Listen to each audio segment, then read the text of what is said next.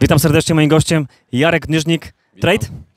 Jarek, y, wracasz do zespołu. Y, Co prawda na Orliku, jeżeli dobrze pamiętam, to nie grałeś na hali, występowałeś, ale dzisiaj pokazałeś, zaczniemy od ciebie, skoro tu jesteś, y, wartość dodaną do zespołu, trzy asysty, gdzie tak naprawdę pokazałeś, że ofensywnie i też dużo w obronie bardzo dużo działasz. Gratulacje za świetny występ. Dzięki, dzięki.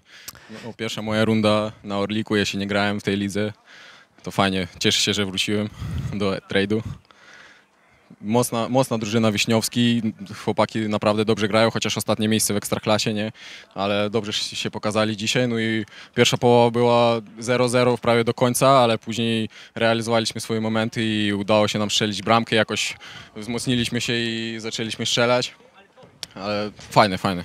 Jesteście w półfinale jako drugoligowiec, y, ale większość zespołów, które e, gdzieś tam e, ogląda naszą ligę, twierdzą, że e, druga liga to jednak to nie dla was, że jesteście zespołem złożony na powiedzmy tą pierwszą albo może już nawet ekstraklasę. Zgodziłbyś się z tym? No, zgadzam się, mogliśmy by grać i w Ekstraklasie i w pierwszej lidze, ale chcemy tak po kolei wszystko wygrywać i dojść jakby wygranymi meczami z wszystkimi drużynami do pierwszej ligi i później do Ekstraklasy. Budujecie fajny zespół, który cały czas ewoluuje. E, tak na gorąco, jak dzisiaj pierwszy raz miałeś okazję tutaj rywalizować w meczu z opakami, gdybyś miał co ocenić po meczu, to co trzeba na szybkiego poprawić? Tak jak ty dzisiaj wchodzisz, patrzysz na tą drużynę, to co byś jeszcze poprawił?